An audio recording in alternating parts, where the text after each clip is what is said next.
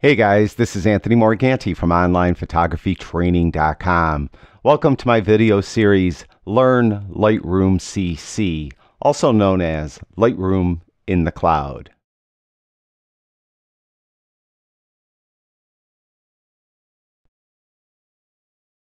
In this video, I'm going to demonstrate how you convert and process a black and white image. Of course, there's a lot of reasons why you may prefer an image to be black and white. Most often, you'll just look at the scene and think it's going to be very compelling when rendered monochrome. A secondary reason is that the color image just might not look right, and that's the reason why I chose this image. This is a Fujifilm RAW file. You can see it's a Fujifilm from a Fujifilm X-T1. And now and then I've found with my X-T1, the scene out of the camera is rendered very blue. There's no processing done on this image at all. Nothing. And this is so the straight raw file. And you can see how it's kind of blue. Now I could come in and color correct for the problem. I would most often click on this color tab and probably grab the eyedropper and pick a spot that's neutral gray and click on it and see what that looks like. And that you know, made it maybe a little bit too warm, but it at least color corrected most of that blue out of there. So you can, you know, correct for it usually if your camera rendered the scene uh, color-wise or color temperature-wise improperly. It's relatively easy to do. But probably equally easy, if not easier, is to actually just process the image in black and white. To do that in Lightroom, there's a couple different ways you can do it. The most common way, and the way we're going to start with, is simply go up to the top of the Edit panel, and you'll see right here is black and white. And when you click on that, it will automatically render your image in monochrome. And you can see that it's improved the image considerably. Now you could process from this point on. So in this case, I'll go down to the Light tab and I'll probably open up those shadows a little bit. It's a little dark, don't you think, down here in the bottom part of the image? Maybe open that up a little bit. Kind of equalize the highlights a little bit. Maybe I'll just bring ex entire exposure up a touch as well. Uh, let's see. We could add a my white point. I'm holding the Alt or Option key. Now, we covered this in a previous video for those of you that are just tuning in for this series for the first time and wondering what I'm doing, uh, to get my white point, I'm holding the Alt or Option key, and it's Alt if you have a PC, Option if you have a Mac. And my taste to adjust it is I would move it to the right until I see some white bleeding through, and then I back it off to that white is all gone. That's just the way I do it. Then similarly, I'll hold the Alt Option key, and for the black slider, move that to the left. And personally, I like a little bit of the black coming through that's called I'm clipping black. I prefer that. So that is how I would adjust the light tab of the adjustment panel. Um, now, there's other ways you could better affect the various tones in the image when you have your image converted to black and white. And that is under this color tab. So we're going to open that up. I'm going to close the light tab down. So we have this uh, color tab open the one of the ways you could affect the tones is with the color temperature sliders. Now, it is black and white, so you would think that color temperature might not do anything, but it does. Especially the temp slider. You'll see as I move it, it really affects the tone in the image. You can see when it's far to the left, you can see how it's washing out the sky and water. And as I move it to the right, it changes the image. So you could come in and move this tint slider to a maybe a more desirable point.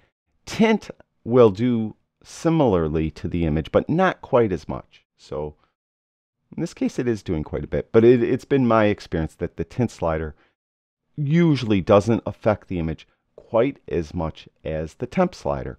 But either way, you could adjust these uh, two sliders uh, to um, to taste, you know, to somewhere that you like. But the main processing that's done when you uh, convert an image to black and white is with what was formerly the color panel. If you click right here, it was called Color Mixer when we had a color image. Uh, for example, if I turn that off, you see how it says color mixer? Now I'll go back to the black and white. Now it's called the black and white mixer.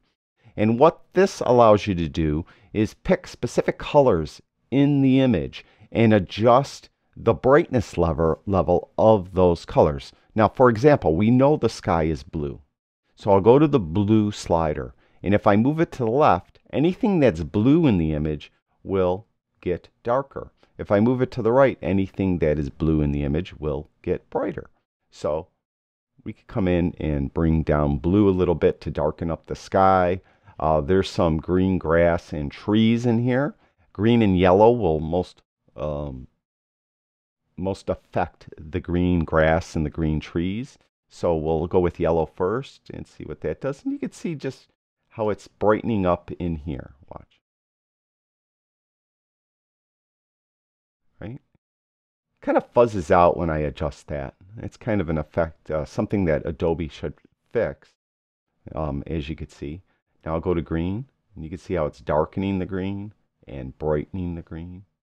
So you could just adjust that. And you could experiment with others. Is there any red in the image? And there seems to be uh, those buildings a red brick. So we could adjust that. See if orange. Orange is affecting the buildings as well. We adjusted yellow, green. Aqua should adjust the water, making that a little brighter. We did blue already. Oh, let's see if there's any purple. Purple's affecting the sky a little bit. Not in a way that I like. And magenta. Is there any magenta? Yeah, the buildings are being affected by magenta, magenta a little bit.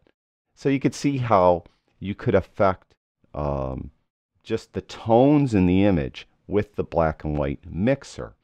Um, so it's a very interesting, uh, you know, uh, ability, I guess you have to really adjust your image. Uh, there is before and there's after. There's before and there's after. So you could see that we really dramatically adjusted the image. And, and it took me two minutes, and really only part of me is doing it. the main part of my brain is talking to you, and I'm just kind of doing these uh, adjustments subconsciously. So you could see that it's very easy to do. Now, there is an auto button right here. You could click there, and it will give you an auto uh, black and white mix if you prefer. So you could click there and you could see that's like what Lightroom thinks is a balanced black and white mix. Personally, I don't like that, so I'm going to hit Command Z to back out of that. Uh, it's Control Z if you have a PC, and it will bring you back one step. So that is how you would adjust the tones in your black and white image. Now, one thing I just want to make uh, sure I mention is when you have a black and white image, often we like to take that black and white image and add grain to it.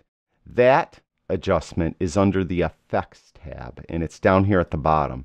So you could move this to the right and add grain to the image. A lot of people like to make it look like an older black and white image. So you can move that. I also want to remind you that there was the um, adjustment for split toning that we covered in our previous video that you could come in, even though it's a black and white image, you could adjust the tones in that image if you want with the black and white or with the split toning. So you can make it kind of a, you know, kind of that old uh, kind of film look or something if you like. Um, personally, I don't care for that on this image, so I'm not going to use it, but I wanted to remind you of that. Now, I did mention that there's a couple different ways you could do this. Uh, this is probably the most common way, and most people would agree, probably the best way to go about adjusting an image to monochrome because it gives you the most, uh, the greatest ability to affect the different tones in your image with the black and white mixer and with your white balance sliders temp and tint. So you could really come in and adjust these tones.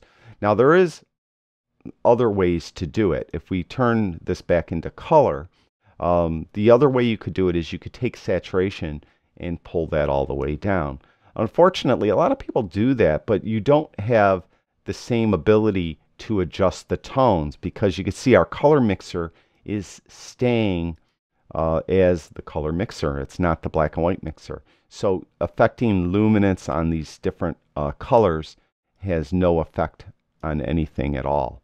So this um, turning saturation all the way down might not be the um, the best way to go as far as adjusting your image to black and white. Now, the final way you could do this is you could um, go to a profile. And I'd advise you to go to a profile first, meaning don't adjust your light adjustments and your color adjustments, whatever, and then pick your profile. Pick your profile early in your processing. So uh, you could go up here and you could see there's Adobe Monochrome. So let's say we just pick this. You could, you know, pick any black and white profile you have, but let's go with Adobe Monochrome. You could pick anything if you have um, any of my um, profiles that you purchased for me. You could pick one of those, whatever. Just the point is we're making this black and white with a profile. So um, we're happy with that. We'll go back. You could come in and you could adjust your uh, lights and blacks. You could come to the color and you could do the tint um, or temperature and tint sliders. That will affect that. You could come here and do the same thing here with your black and white mixer. So you could, um, in most cases, adjust everything. There may be some profiles, though, that won't allow you to, or won't bring up the black and white mixer. They're going to show the color mixer. It's just how the profile was made.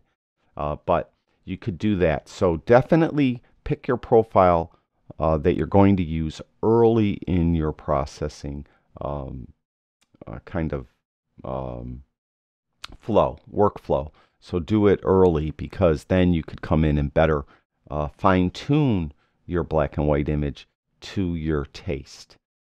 So a couple different ways you could adjust an image to black and white. I think you'll agree that the black and white image for this specific image looks a lot better than any rendering of color that I probably would have come up with. Thank you everyone for watching my video series Learn Lightroom CC. If you could do me a favor and like and share the video and subscribe to my YouTube channel, I'd really appreciate that as well. Also, in the description below this video will be a link to my website. Come visit my website, onlinephotographytraining.com. There you'll find all kinds of free photography how to articles and videos. I'll talk to you guys soon.